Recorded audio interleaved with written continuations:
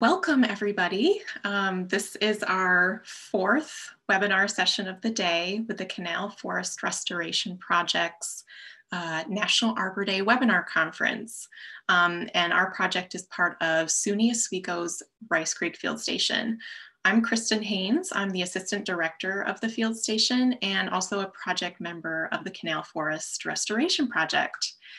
Um, so for this session, uh, it's titled The American Chestnut Research and Restoration Project at ESF. Um, and that's uh, SUNY College of Environmental Science and Forestry located in Syracuse. Um, so we're really pleased to welcome three members of the team here.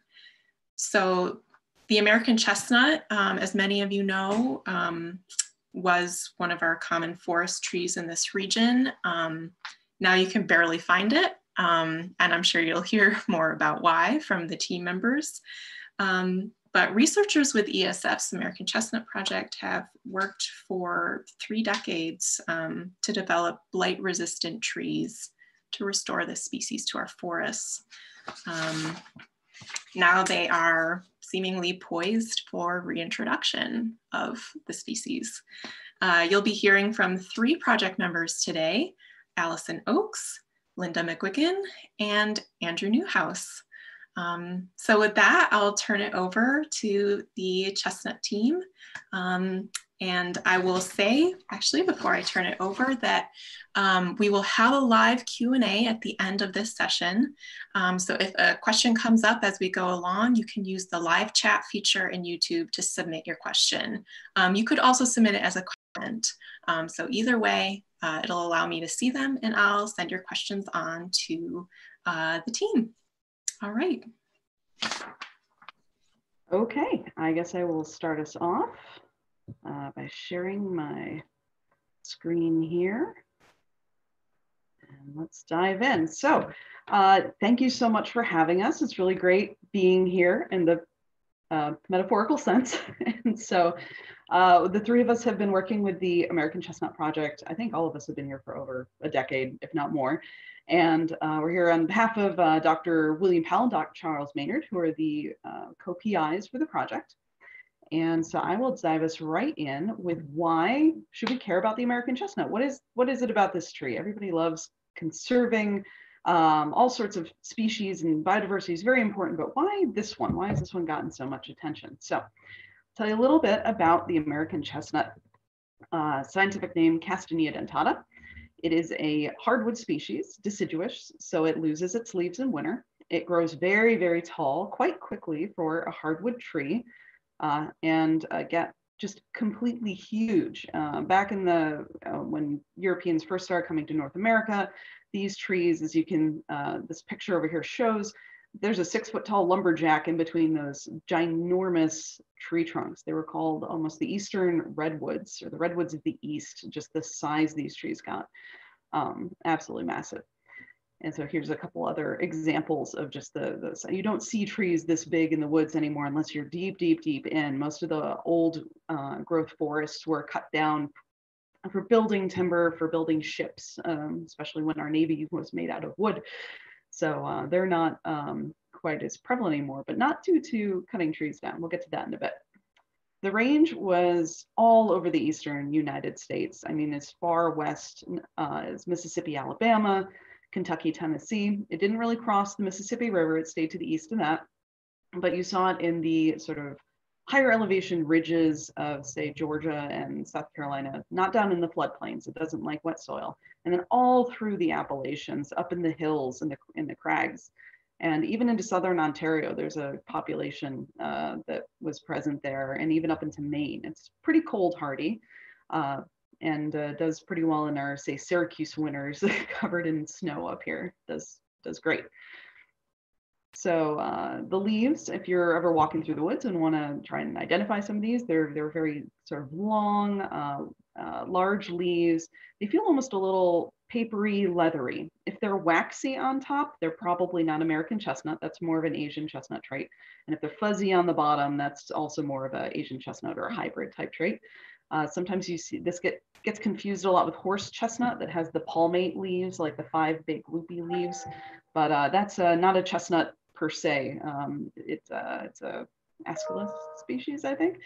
Uh, and this is um, the uh, in the Castanea family. And so this grows very, very tall uh, in the in the forest and needs to break canopy there. And you can see the bark is kind of rugged and uh, cracks a little bit, which will be important later on. But you're probably not going to see a chestnut tree that looks like this. You're going to see one that looks more like a shrub. You'll see these dead stumps with new growth kind of flushing out from the base, and it looks like a big bush. So these you will see all over uh, let's say the Appalachian Trail and stuff. You'll see these sort of remnants um, as the chestnut is trying to regrow itself up from the roots.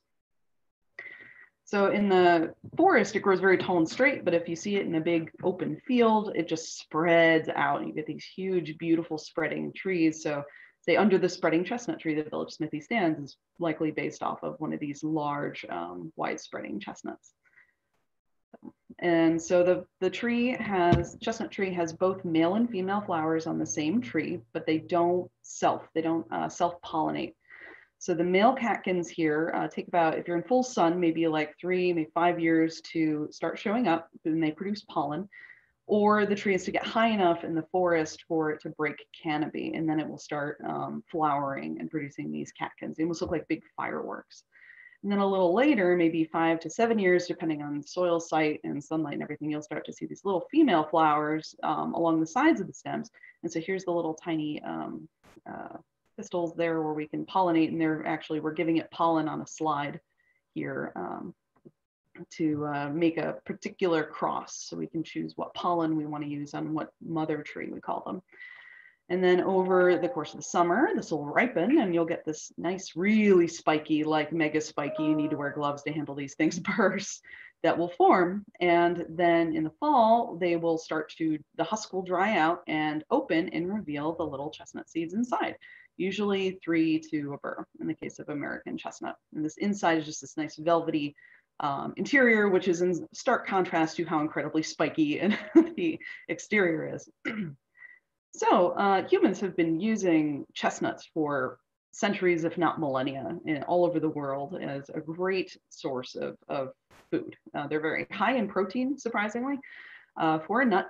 And so once you pull off the burr, which you can do either with um, tools or say with your boot is a common way we get the burrs off, you uh, can get this nice um, pile of delicious chestnuts, which commonly in a lot of places are roasted. You sort of score the outside, cook them at a high heat, and to cook the nut meats inside. You can also take the nut meats, dry them out, and grind them into a lovely flour, which is gluten-free and, and quite tasty uh, for sort of sweet desserts and things. And brewers, of course, will try brewing everything. And in this case, chestnut ale and chestnut beer is really delicious. I think it makes a great addition if you're into like say hazelnuts or almonds, those sorts of flavors, um, chestnut is a great flavor to work with. So not just for eating, but the, the wood is fantastic to use as well.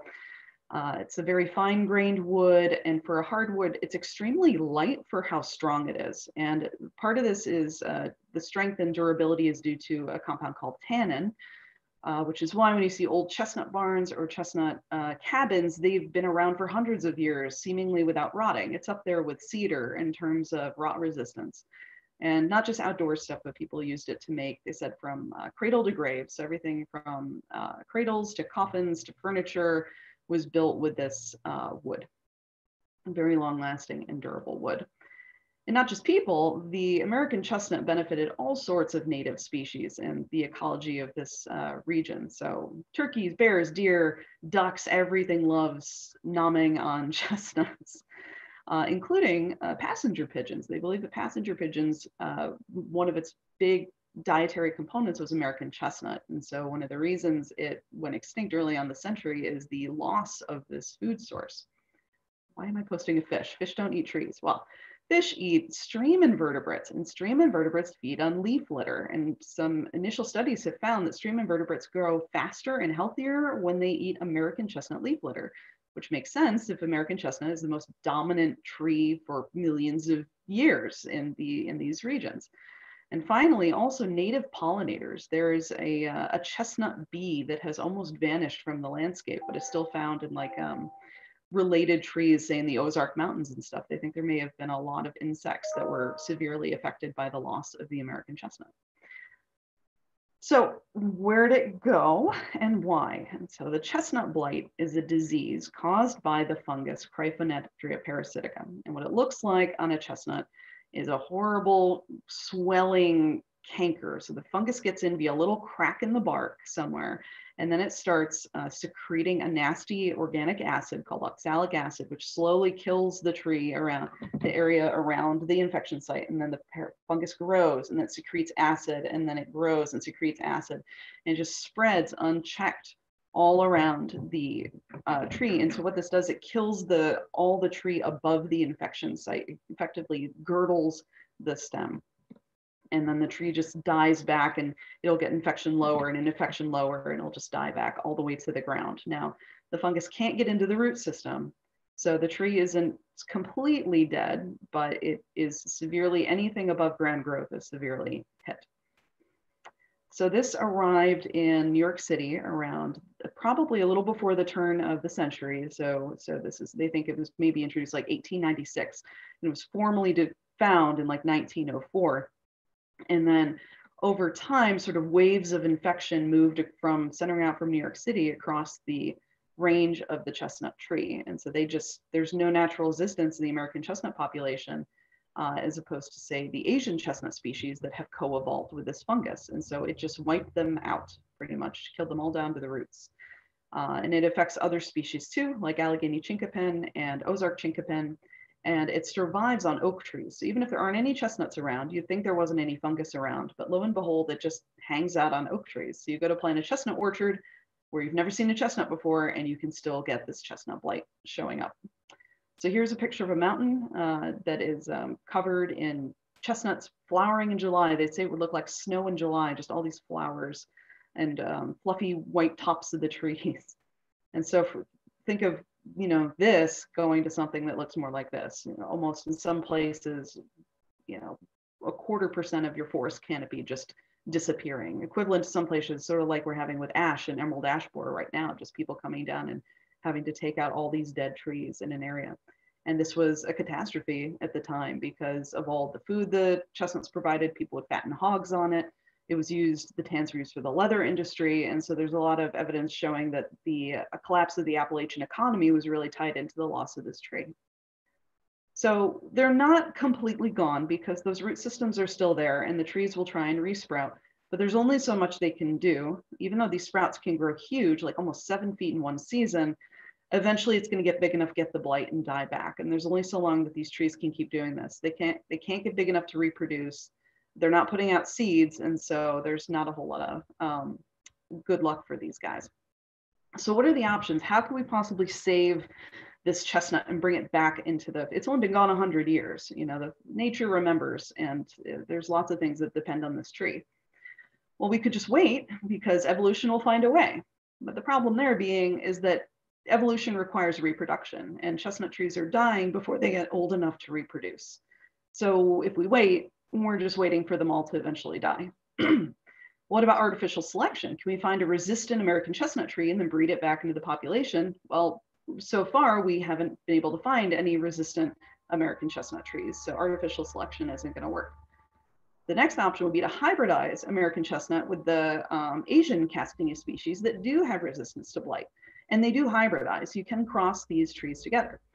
The problem with that being is that there are 40,000 genes in the chestnut genome, and there's likely more than 20 involved in blight resistance. And so originally they thought there were maybe just three, and three is reasonable. Three is easy to cross over and get into your uh, genome there, but 20 makes it a much more difficult and time-consuming proposition, especially given, given how long you have to wait for the trees to grow and reproduce. So there has been some very interesting work done there. Uh, but what about if we added a new blight resistance trait to the American chestnut, just de novo? And so that could work if we could find a piece of DNA that would code for an enzyme that could help the tree defend itself against the fungus. And so you'd have to find the right gene. And this is where kind of Dr. Powell was looking at back way back when, that uh, some strains of chestnut blight grow much faster than others. Let's see if the sound can see. We have two different types of chestnut blight. here. I don't know if I shared my sound or not. Okay. Dramatic music. Look at this one go. It's just, this one is waiting and then sort of popping out, you know? This one is just going like a train right here. So, so the difference between these, oh, go back, go back picture. Oh, well. So the one that was spreading very fast found that it, it is excreting, it is just sending out to the tissue lots of oxalic acid. It's just pumping out acid and the, the plant cells don't have any offense against it. Whereas the one that was going slower isn't making that much oxalic acid and the, it's, it's just not progressing at a fast enough rate. So they found this conclusion that this the amount of oxalic acid the fungus is producing is how virulent or how nasty uh, the various strains of chestnut blight are which leads us to the question okay so what is oxalic acid? It's this. I know that clears it up a lot. It's it's an organic acid um, and a lot of fungal pathogens use this as a as a weapon especially necrotrophic ones that kill plant tissue so they can then eat it up. And so the crystals of acid weaken cell walls there. Uh, like the sclerotinia is a really nasty pathogen that infects over 400 plant species and it uses this acid to to attack them Wood rotting fungi use it as well to rot wood. And humans, uh, oxalic acid can literally form kidney stones and can be directly toxic. There's stories of people in Victorian era committing suicide by drinking oxalic acid. So it's not, it's not a great uh, thing that this fungus is producing. So the idea being, what if we've got this acid that we want to get rid of? And if only we had an enzyme, an enzyme is like a little molecular machine or pair of scissors in this case that has one job, one function. If we had just an enzyme that could somehow take care of that oxalic acid, we'd be good to go. But with um, genetic engineering, the idea is if you have a DNA instruction, like one strip of DNA that codes for one gene, and that gene can tell the plant cell how to make this enzyme, then it will produce an enzyme and the enzyme will snip that oxalic acid and problem solved. So, but the idea for uh, this is to have just one simple solution that's not going to cause a lot of issues. And lo and behold, there is an enzyme that does just that. It's called oxalate oxidase, and we call it OXO a lot in short because we say it an awful lot of times. So this is an enzyme that breaks down oxalic acid. And the cool thing about this is it's present in all of our food, basically. It's in uh, wheat, barley, rye, corn, and rice, and it's a very common plant defense mechanism against these types of fungi. So it takes the oxalic acid and cleaves it in hydrogen peroxide, which is a plant uh, defense um, hormone and then carbon dioxide, which the plant can easily use.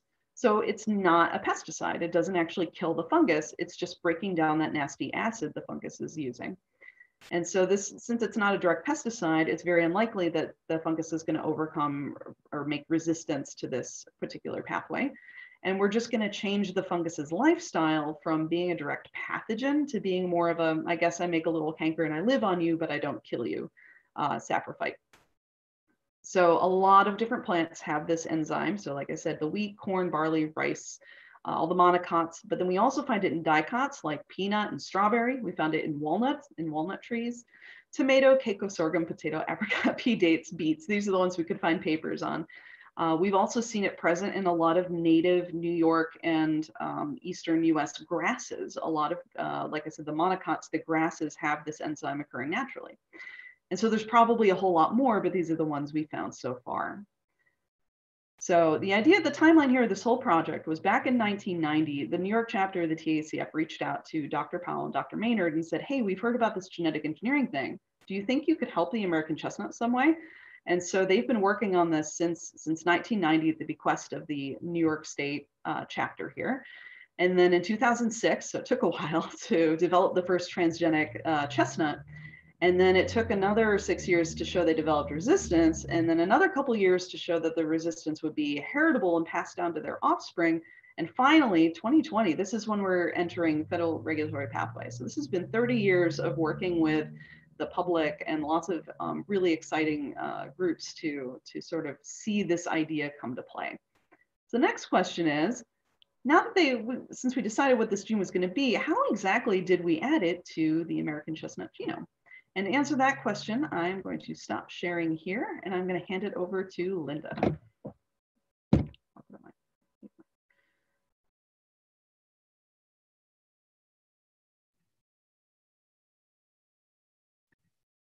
Hi, sorry about that. Um, I am Linda McGuigan, um, and I'm going to discuss how we do the transformations. Um, and um, is, is that, is the screen just the, it's not in, uh, okay. Um, so I'm gonna talk about the transformation process of American chestnut and Linda, just to, uh, if you start your slideshow. Um, oh, that's what I'm not doing. Thank yeah, you. Sure. There we go. That's better. Um, so I'm gonna, the first thing I'm gonna talk about is the bacteria that we use to do the transformation. And this is called agrobacterium. And it's a natural plant genetic engineer. Um, this uh, bacterium has transformed sweet potato about 8,000 years ago. Um, it transferred a few genes into the sweet potato. Uh, scientists believe that these genes have made it edible um, for human consumption. Um, so what happens is the agrobacterium has a circular piece of DNA in it called a plasmid and that plasmid will transfer over um, some of its DNA into the plant cell. And when it gets in the plant cell, it has the plant produce food for the agrobacterium. It creates this gall with this food in it. And um, scientists have been able to take that gene out that creates this gall and put in the gene of interest.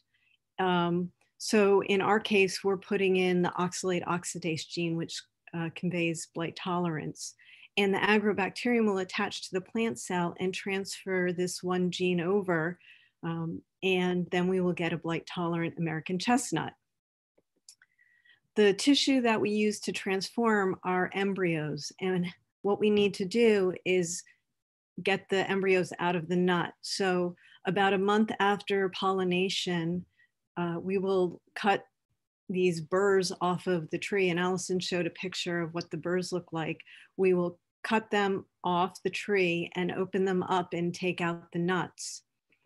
We'll sterilize the nuts in a 50% bleach solution for about five minutes. And we do this in a laminar flow hood, which is a hood that blows sterile air towards you we'll open up the nut, we'll cut the nut open to expose the embryos. And usually there's anywhere from uh, nine to 15 embryos in there. On average, it's about 12. And we'll take those embryos and we'll put them on a nutrient medium. And the nutrient medium contains salts and sugars and hormones that the plants need to grow. And many of the uh, embryos will die. Some of them will get a contaminant on them, like a fungus or a bacteria, but some of them will start growing new embryos. And these we can multiply. And this is a clump of embryos, and they all have the same DNA, they're clonal.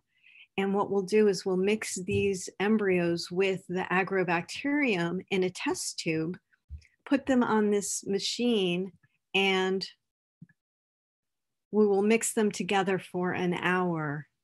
Once they've been mixed thoroughly, uh, we will transfer it to what's called a desiccation plate, which is just a piece of filter paper that's slightly moistened. And this is where that process of the transfer of the DNA happens. After that, they go into a bioreactor, which is a chamber that has, or it's a container that has two chambers. And the top chamber has the embryos in it, the embryo clumps, and the bottom chamber has the medium. It has a liquid medium that will um, that contains the nutrients plus an antibiotic that will kill off any of the um, any of the um, non-transformed cells or the agrobacterium. And we turn it on every six hours and it floods for a duration of two minutes and then the medium will um, the medium will surround the embryos this occurs for uh, six to eight weeks and then it will go back, the embryos will go back onto semi-solid medium, which has the nutrients in it. And um, we will uh, test them to see if the gene of interest was incorporated into the genome. Uh, I want to talk about events, which um, if you see here, um, this represents three cells in the American chestnut genome. Uh, chestnut have 12 chromosome chromosome pairs, excuse me, humans have 23 pairs. And in the first cell, if the gene of interest, in this case, the oxalate oxidase gene, gets um, incorporated into the seventh chromosome, we call that event one. If in the second cell it gets incorporated into the fourth one, we would call that event two. And sometimes two of the genes get put in two different chromosomes. In this case, it would be one and eight, and that would be called event three. We keep these events separate and we will grow them up. And it is important because depending on where it goes in the um, in the genome will affect how it is expressed. Once we know that it has the gene of interest in it, we will grow these events up and germinate them into shoots. The shoots will get grown bigger and we will cut off the bottom of them, dip them into a rooting gel, and then grow roots on them. These will get potted up and covered with a baggie so that they don't desiccate or dry out. Um, they go into a growth chamber. You can see on the top shelf, those are the small ones, the newly uh, rooted ones. They have the baggies on them. The growth chamber has high humidity, but it's not enough for those uh, newly formed uh, shoots uh, with roots. So um, that's why we keep the baggies on. Uh, once they get big enough, we can take the baggies off and then put the plantlets into a greenhouse until we are ready to plant them out either in the summer, uh, the spring, or the fall. Um, how do we test for blight resistance? Um, one of the tests we do is called a leaf assay, and we will grow up the fungus on a petri dish and we will take a leaf from the plant and make a small incision in the uh, mid vein. And we'll take the fungus and put it on that that cut on the mid vein and we will let it sit for three to seven days and then we can measure how big the necrosis is and the necrosis is dead cells and we can compare american chestnut wild type to the transgenic chestnut or to chinese chestnut and this test is preliminary it can it will correlate to what we see in the field later on when we do our tests uh, we also do tests in the greenhouse with um, small stems. So we'll grow up the, the plants and make an incision on the stems and put the fungus on that uh, incision. And you can see here, the left is wild type American chestnut, the center is the transgenic uh, chestnut, and the right is the Chinese chestnut. And all of the wild type chestnut have American chestnut have died. Um, the transgenic and the uh, Chinese chestnut are doing okay. Some of the Chinese chestnut, however, have died back. Uh, this is a close-up of some of their stems. The wild type have these sunken cankers that, um, that are killing it, whereas the transgenic and the Chinese are growing tissue to protect the, the tree from the fungus. We can we also do tests in the field. So these are a little bit older and you can see that the Chinese or the, excuse me, American chestnut on the left, which is wild type, is completely blighted and dying, whereas the transgenic is able to uh, keep the fungus at bay.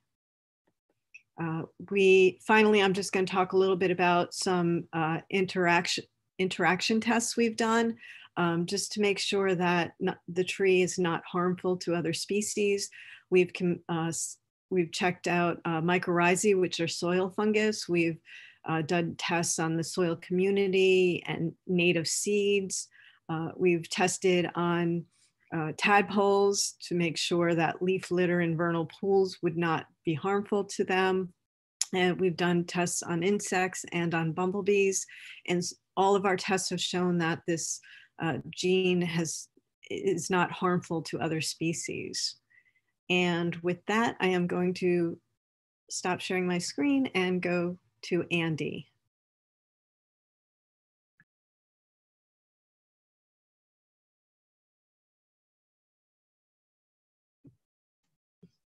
All right, thank you very much. My name is Andy Newhouse, and I am going to do best my best to move quickly through the regulatory process. And that's probably the least exciting part for most people anyway, but um, I'll try and sum up at least kind of where we are and what we're, uh, what we're working on. So before I kind of get started with the details, I want to mention that there are several options for what we could potentially do to deal with the problem of chestnut blight. And we've described some of these. There are a few more that we don't really have time to go into detail. But um, one of the options is that we don't have to do anything. But as Allison described, we kind of know what the outcome would be if we go that route and the chestnuts will continue to decline and uh, ultimately American chestnuts would disappear from the environment. Um, but including looking at some of these other options, my question is which ones of these involve risks? And the answer, of course, is that all of them potentially involve risks. And so there aren't any options that are risk-free. But I'll also note that the only one that's regulated by the government is genetic engineering. And so I'm going to go into that a little bit here. But um, one of, I want to emphasize that we aren't looking for a risk-free option since one doesn't exist, but instead we're looking at relative risks between genetic engineering and traditional methods. So currently everything we have planted outside or even everything that we move from place to place, every, every piece of transgenic material um, is covered by permits from the USDA. So currently everything is confined and, and, and covered by these permits. Before we would be allowed to distribute transgenic trees or use them for large scale restoration plantings, we would need to get approval from three different federal agencies in the US. And since the uh, range of the American chestnut extended into Canada, we would be um, talking to Canadian regulators also. Um, and I'll go ahead and start right off. Everyone asks how long this is going to take. And there are lots of unknowns, but our best guess is maybe two to five years before we can start distributing transgenic trees. So the first agency I'll talk about in more detail is the EPA, Environmental Protection Agency, and they generally regulate pesticides. And so my question, first question is, what's a pesticide? And I think most people kind of initially assume, oh, it's something that kills a pest. And that's kind of the dictionary definition. Uh, maybe repelling a pest would also fit into that definition. And so we uh, kind of thought, we, we actually questioned whether we would even be regulated by the EPA because the oxalate oxidase enzyme doesn't kill the pest. It doesn't repel the pest. It doesn't prevent infections. As you can see in this, uh, this picture here and some of the others that have been shown earlier, transgenic chestnut trees can still get chestnut blight, but our goal was to allow them to survive, allow them to tolerate that infection and thrive much like Chinese chestnuts do in their native range. So um, the EPA has decided, has defined um, a pesticide, however, as something that can mitigate a pest. And so we are regulated by the EPA. Um, moving on just for the sake of time to the next agency is the FDA, the Food and Drug Administration, and they regulate safety of food and feed. Um, so to address some of their questions, we've done several different nutrition analyses on the chestnuts. Um, they're also interested in uh, allergens and toxins and whether this change could result in any um, any new uh, concerns there. They're also concerned with food labeling. So for example, this package of chestnuts, it says low fat. And the FDA regulates things like whether you can put low fat on a package and, uh, and so on. Um, they don't regulate every detail. You'll notice here, based on Allison's description, that the picture on this package is actually a horse chestnut. Um, and unrelated, you don't want to eat horse chestnuts, but uh, not everyone catches that. It's a common mistake. Anyway, um, much of our argument to the FDA is that oxalate oxidase is present in so many foods. Um, one of the specific tests that we've done is about tannin content, and tannins are proteins or uh, commonly pigment compounds that uh, often have a bitter flavor, like acorns have a lot of tannins, which is why we don't really like to eat them, but they're important for wildlife and livestock food, and they can actually have some antimicrobial properties that are helpful. So the FDA asked us about testing tannins in transgenic chestnuts. And um, so we tested several different kinds of chestnuts. On the far left in the green bar is uh, the tannin concentration in our transgenic chestnuts. And in the bar adjacent to that is a related control that doesn't have the transgene. And you can see that the, the presence of the transgene doesn't change the tannin concentration. The next three bars are other unrelated American chestnuts, maybe grown in different places in different environments, different years. And you can see that the tannin concentration varies widely in these other unrelated chestnuts.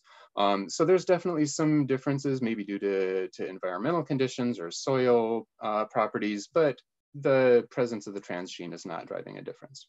We've seen similar things for other types of nutrition analyses also. Uh, moving on to the third agency is the USDA, and uh, they regulate what they call plant pest risks, or sort of general environmental uh, safety. And we have actually submitted a petition. The USDA has accepted this petition, and so that will be public very soon. And the first part of that process, skipping on to the bottom here, is that they are uh, holding an open comment period. They're actually soliciting feedback from the public. They want to see if there are any questions that might not be answered in our petition. Um, and we would also be really interested in, uh, in hearing from people who are excited about chestnuts. This would be a great opportunity for people to, um, to share feedback with the USDA. And if you follow either ESF Chestnut Project or the Chestnut Foundation, you will hear soon when that open comment period starts. But as far as our petition to the USDA, we are looking at several different aspects of the tree and um, whether the American chestnut as a species or whether the oxalate oxidase gene or whether some interaction there could potentially represent a novel plant pest risk. And um, we have not seen any evidence that that might be the case. Um, Linda has already talked about some of the environmental interactions very briefly. Unfortunately, don't have time to go into those in much detail. But again, we've looked at several different things in the lab and in greenhouse and in field plots and not seen any suggestion that the presence of the transgene would um, interrupt or, or be detrimental to any of these environmental relationships that we've looked at so far.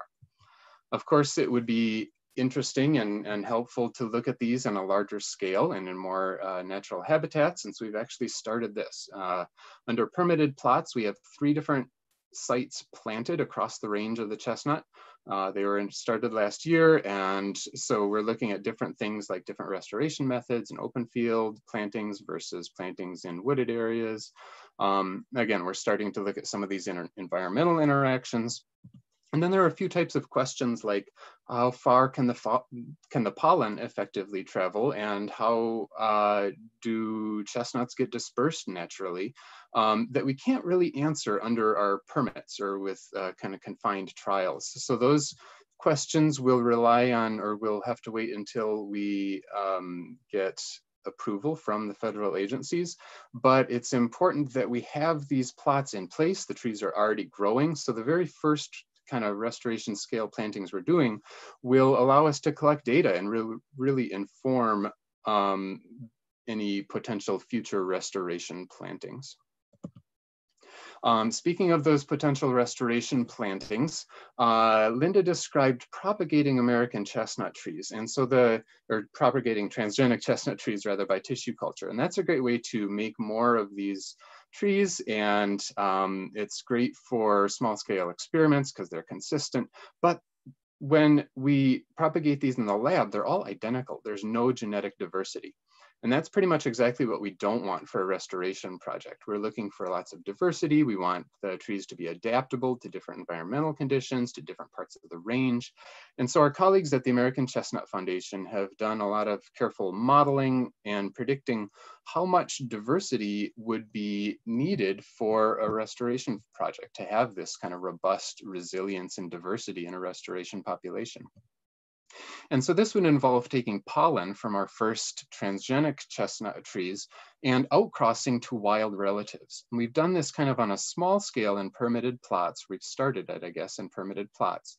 But um, we would hope to, if we get regulatory approval, continue this out to more and more trees, maybe up to about 500 after the third or fourth generation. Um, and these would be trees from different parts of the chestnut range with maybe unique adaptations to different environments. We'd really like to uh, incorporate a lot of that diversity for, for um, appropriate restoration plantings. This will take a while uh, to do this many generations of breeding. Um, this whole project is described in the paper here, but um, sooner than that, we would hope to do what we would call a horticultural distribution. So if we get regulatory approval, we would be able to distribute a smaller number of trees to a small number of people, maybe supporters, chestnut enthusiasts, educational plantings, demonstration, more research plots. Um, and I'd also mention that in both of these cases, uh, we the trees are not planted patented. The tree, there are no patents, um, and they wouldn't be sold for profit. Our goal is for uh, for restoration. Um, I don't have a lot of time to go into the details, but there have been a few social scientists who have done research uh, independent of, of our group, but looking at public perception and kind of public acceptance of uh, genetic engineering. And in the case of agricultural biotechnology, kind of the GM foods that are often um, talked about, uh, there's there's some amount of skepticism that people are, are kind of concerned about a few different things like uh, corporate control of agriculture and pesticide use and various related concerns. Um, but when these social scientists have done surveys about, uh, you know, looking at opinions about the use of genetic engineering for restoration or for treating things like uh, addressing things like endangered species or invasive species, um, they've found that a majority of the public would accept genetic engineering in the face of a concrete threat like chestnut blight or like other like addressing other invasive species. And this really matches what we've seen in our own presentations is the that a lot of people are excited about chestnut restoration by whatever method would be uh, safe and um, effective. So we have lots of people who are excited about chestnut trees. And uh, very briefly, as I'm wrapping up here, there's also potential if uh, things kind of go well if uh, this is one of the tools that can be effectively used, that there are a number of other trees facing threats. You're probably familiar with uh, disease threats to ash and elm, um, but there are even other types of environmental threats, uh, seabirds being threatened by invasive rodents on islands, uh, the black-footed ferret is endangered. Uh, coral reefs are facing threats from things like acidification and ocean warming. And uh, genetic engineering or biotechnology more generally wouldn't necessarily be the best tool for every case, but it could be a potential tool to deal with some of these really serious threats. Um, so we're excited about that potential.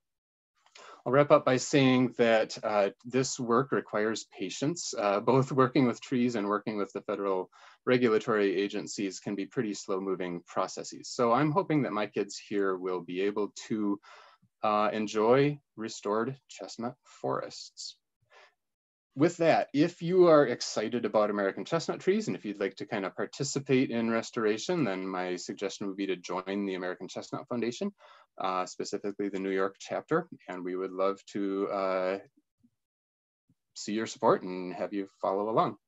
Thank you very much.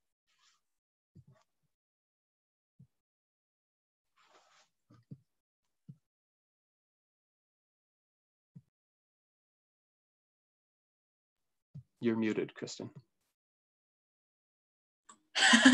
Thanks for that. I guess I was muted. Um, I was just saying thank you so much for that. We do have time for a few questions. Um, so I'll start off with one question I have and then I'll move to, to some that came in online. Um, so in terms of looking ahead to other projects beyond this one with possibly other species, do you think CRISPR gene editing will really make it like a little bit more of a faster process, or do you see that as being an application that could be used on um, future species?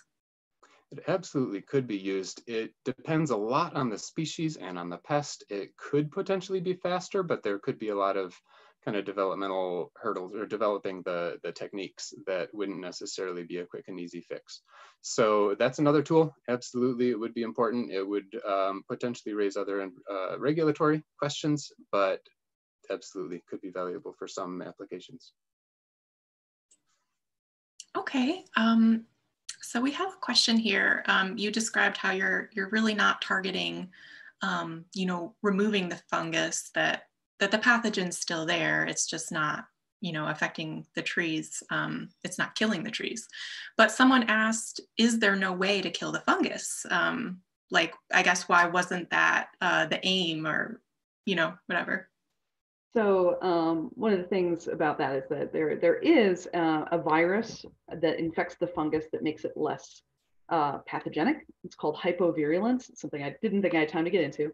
It actually worked really well in Europe when the chestnut blight went to Europe. They were able to sort of use these uh, fungal strains that had been sort of um, uh, reduced pathogenicity of the virus and um, spread that onto their trees and they could keep their chestnut orchards alive and thriving. The trees don't look super great. They're covered in cankers, but they're alive. So one of the things that happened when the chestnut blight came to the United States is with this huge pool of trees to infect, it diversified really quickly. The fungus actually evolved into so many different strains and so many different types that hypovirulence hasn't been a really effective mean to control it.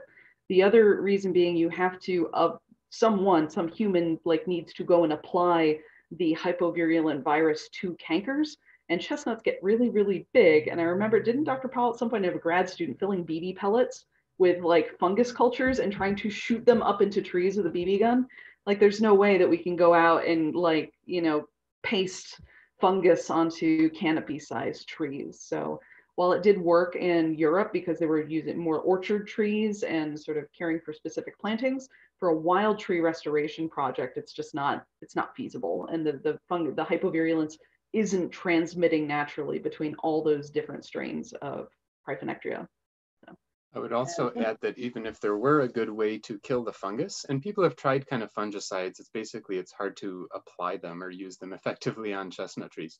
But even if there were a good fungicidal uh, product that could kill the chestnut blight fungus, that might not be the most stable or reliable way to deal with it because that would be creating what we would call a selective pressure. That'd be killing most of the fungus. And if the fungus could like evolve a way to avoid dying, then those kind of evolved strains would replicate and have a great advantage. And then that, uh, that treatment wouldn't really be effective. That has been observed in agricultural systems with other types of pests for sure. So we are optimistic that this uh, mechanism of not killing the fungus, of allowing the tree to defend itself, should be a more stable mechanism. And that is why you should always finish your antibiotics. When you're prescribed a 14 day run, you need to take the whole 14 day run to knock everything out. Because if you quit at day six and a couple survived, now they're getting resistant to the antibiotic. It's the same sort of idea. In process yeah, interesting connection there for sure. Um, so someone asked, and I think this probably applies to other animals. Someone asked, how do deer avoid the spiky exterior? So if you're removing them with your boots, how would an animal eating the chestnuts get around that spiky exterior? Well, when when they are fully ripe, the exterior will dry out and sort of crack and open. So uh, we gather them before they open so that the animals don't have a chance to get there. Occasionally they have opened, but we put these um, mesh bags over every possibly transgenic branch so that the animals can't get to them right now. But no, the, the hulls will eventually like pop and release the seeds and then the animals get to them. Okay, that makes sense. Um, so I think we'll just go with this uh, one last question. Um, so someone asks, are you going to do a Kickstarter for your trees? and maybe just more generally, how could people who are interested, um, I mean, you mentioned that they could join the foundation, but is there like a concrete way that people could help the project? I think that the American Chestnut Foundation would be um, definitely a good starting place. Andy, you wanted to say something else? Sure. Their link to our project page on ESF's website does have, I believe there's a place to donate still there. We have done something like a Kickstarter, a crowdfunding campaign, and I believe that's still available. But definitely joining the Chestnut Foundation would be the best way to uh, keep up with us and to uh, support us if you're interested. Thanks. Also, uh, Chestnut Foundation members are probably much higher in the uh, order if you want to actually get a tree being part of the Chestnut Foundation puts you that much closer in, in the uh, queue for receiving trees or pollen or such.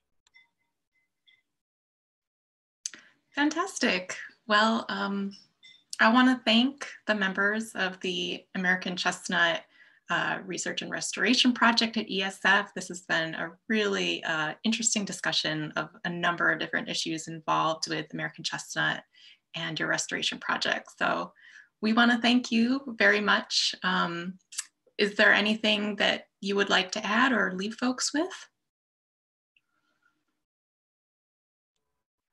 Uh, helping support our forests is just an absolutely great thing to do. And I know it's been an honor working for this project and just having such a really cool goal is uh, really great part of being a scientist and working towards this sort of thing. So um, go into STEM, STEM majors for the win.